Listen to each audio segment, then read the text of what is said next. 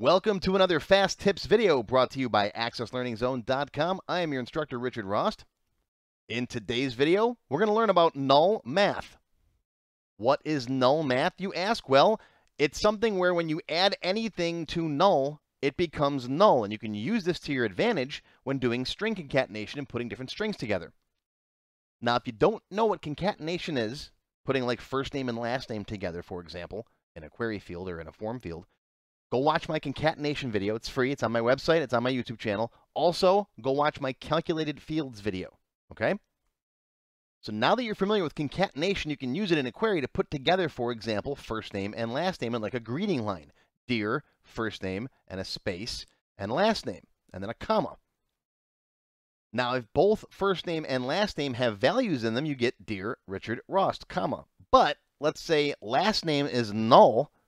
What happens is you get Dear Lauren and then a space and then the null value because that space goes there.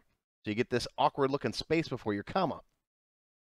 So what we do with null math is we say we put it in parentheses, okay, and then we take last name and then we add it to that space character. And what happens is anything plus null equals null. All right. So if last name is null, that space becomes a null, right? This whole thing evaluates to null. So you'll get dear Richard, and then if Rost is there, you'll get Richard Rost with the space, right? And then the comma like that. But if Lauren doesn't have a last name, that space goes away because you're adding it to null. Same thing if you're adding first name and spouse and last name, right? With concatenation, you'll get Joe and Sue Smith. But let's say spouse is null.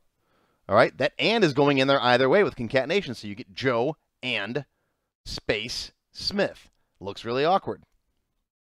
But if you know how to use null math, look, you take that and and you add it to spouse. That way, if spouse is null, this whole thing evaluates to null, right? And you get first name and space last name. So you get Joe and Sue Smith or just Joe Smith.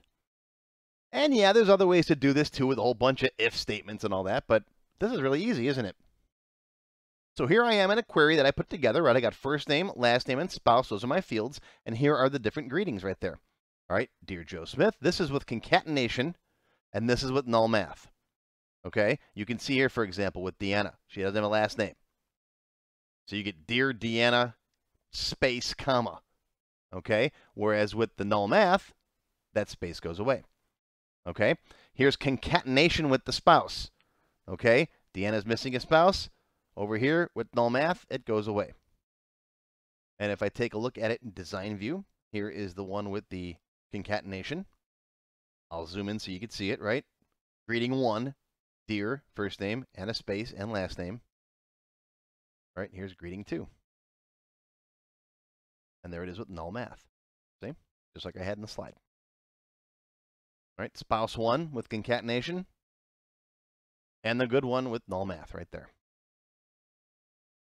So that's null math. Now, I do have a more complicated video for combining names together if you get spouses with different last names. It takes a couple of nested if functions. You can do it, but it's a little more complicated.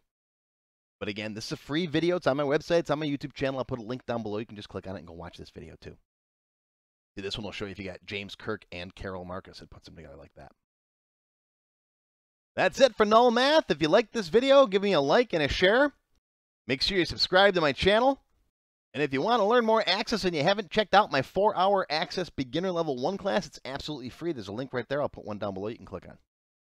Thanks for watching, and we'll see you next time.